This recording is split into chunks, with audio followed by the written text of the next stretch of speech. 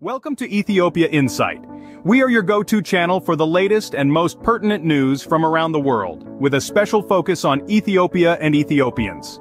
Today we'll be diving into some significant issues, shedding light on the recent unfruitful visit of the International Monetary Fund to Ethiopia. The IMF's latest visit to Ethiopia was filled with high expectations, but it ended without the anticipated breakthrough. The economic powerhouse's mission to Ethiopia hoped to set a new direction for Ethiopia's economic landscape, but instead, it exposed the deep-seated challenges that the country is grappling with. We'll also be exploring the controversy surrounding the British Museum, and alleged looted Ethiopian tablets, the contentious acquittal in the Solomon Tekah case, and more. As we bid farewell to Piazza, We'll also delve into the AfCFTA's greatest nightmare and discuss transitional justice in Ethiopia. So, sit back, relax, and let's get started with our in-depth analysis of these compelling stories. Remember, knowledge is power, and staying informed is the first step to understanding our interconnected world. Let's dive right into our first headline, the IMF's unfruitful visit to Ethiopia. Following the unsuccessful visit of the International Monetary Fund, Ethiopia is now faced with a myriad of economic challenges. The IMF representatives made considerable progress towards understanding how they could support Ethiopia's economic program, but negotiations are set to continue later this month in Washington. The lack of a solid deal leaves Ethiopia in a precarious situation, lacking the commitment it earlier pledged to its recognized international creditors.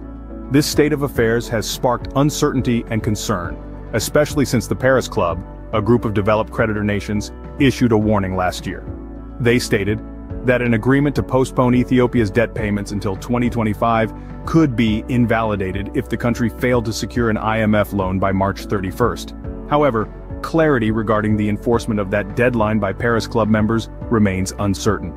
As it stands, Ethiopia's economy is grappling with high inflation, a hard currency shortage, and escalating external debt repayments. This situation begs the question, what next for Ethiopia? In a surprising turn of events, the British Museum is under investigation for its possession of the tablets, sacred Ethiopian tablets, for over 150 years. This issue came into limelight after Returning Heritage, a non-profit organization devoted to cultural restitution, lodged a formal complaint. Backed by the legal powerhouse Leigh Day, they argue that these tablets were unlawfully obtained by British troops during the Battle of Magdala in 1868. The tablets are no ordinary artifacts. They symbolize the Ten Commandments and the Ark of the Covenant. According to the Ethiopian Orthodox Church's traditions, only priests are permitted to view these sacred tablets. For over a century they have been kept hidden from public view, the contention lies in that the organization believes the tablets can be rightfully returned to Ethiopia without violating the British Museum Act of 1963. The museum, however, firmly asserts that the law prohibits them from relinquishing the objects. This contentious issue has ignited a global debate about the rightful ownership and ethical treatment of cultural artifacts and could significantly impact Ethiopia's cultural heritage.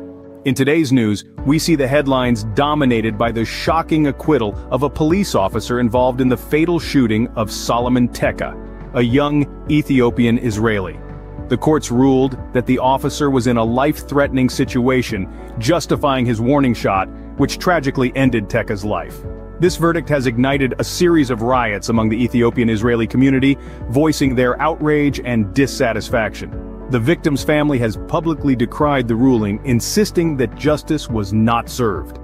The Department for Internal Police Investigations, responsible for the initial indictment against the officer, is considering an appeal against the ruling. This controversial acquittal has sparked a national debate, bringing to the forefront intense discussions about police violence and systemic discrimination against the Ethiopian-Israeli community. The ripple effect of this incident on the community and its impact on the broader socio-political landscape will be worth watching. Switching gears to Addis Ababa, Ethiopia, where the historic district of Piazza faces the threat of extinction.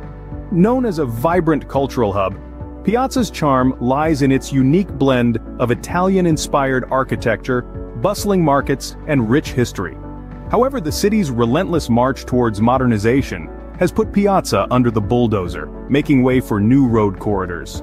For the locals and Ethiopian diaspora, Piazza holds a deep emotional significance. It's not just a district but a symbol of shared history, communal memories and an embodiment of Ethiopian resilience.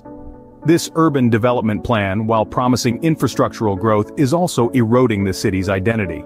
The quaint streets, the aroma of traditional Ethiopian coffee wafting through the air, the rhythmic Amharic music, all these elements that make Piazza, Piazza, are slowly fading into oblivion. The unfolding scenario in Piazza is a stark reflection of a larger global conflict, the tug-of-war between modernization and preservation of culture. As skyscrapers overshadow heritage buildings and highways cut through historic districts, one can't help but wonder, are we losing more than we are gaining? As we say goodbye Piazza, we are compelled to ponder on the delicate balance between progress and preservation, and the price we pay for the relentless pursuit of development. Turning our attention eastwards, China has held the title of Africa's largest trade partner for 14 consecutive years, with trade experiencing a modest growth of 1.5% from 2022 to US dollar 282.1 billion in 2023. The Belt and Road Initiative, BRI, China's ambitious brainchild, aims to improve connectivity and cooperation on a transcontinental scale. With 49 African nations and the African Union, AU signing up for the BRI, the impact on China-Africa trade has been transformative. China is not just Africa's biggest bilateral trading partner but also its largest lender and one of the most significant foreign investors in the continent. However, this relationship is not without its fair share of controversies. China's mega infrastructure investment in Africa has raised serious concerns about debt sustainability, putting several governments in a difficult position. This brings us to the African Continental Free Trade Area, AFCFTA, which is now faced with the challenging task of navigating this intricate relationship.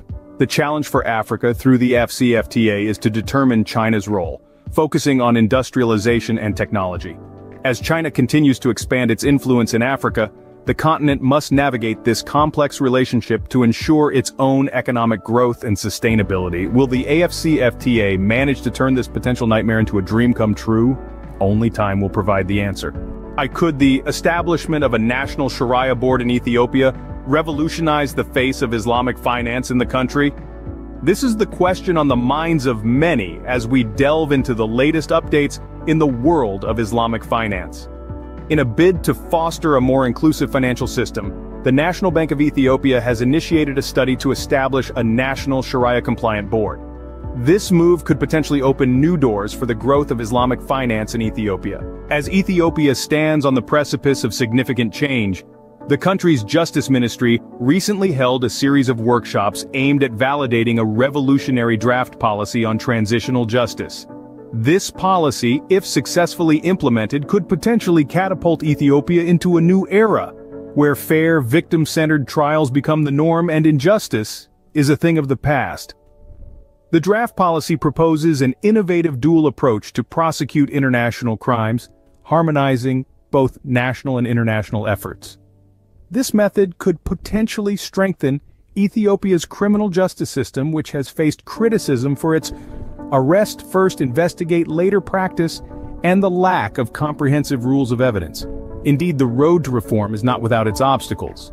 Ethiopia's criminal justice system must strive to overcome its current inadequacies. There is an urgent requirement for a distinct rule of procedure and evidence to uphold fair trial standards and ensure victims' participation in the transitional justice framework. As Ethiopia embarks on this journey towards transitional justice, a myriad of questions looms large. Can the country surmount its challenges and successfully implement a system that ensures justice for all? Will this novel approach to justice help heal the nation's historical wounds? Only time will tell. That's all for now. Thank you for joining us. Before we sign off, we want to hear from you. Don't forget to subscribe to our channel for more insightful news updates like this video, if you found it informative and share your thoughts in the comments below. Your engagement and feedback are invaluable to us. Until next time, Stay informed, stay safe, and have a great day. Thank you for watching.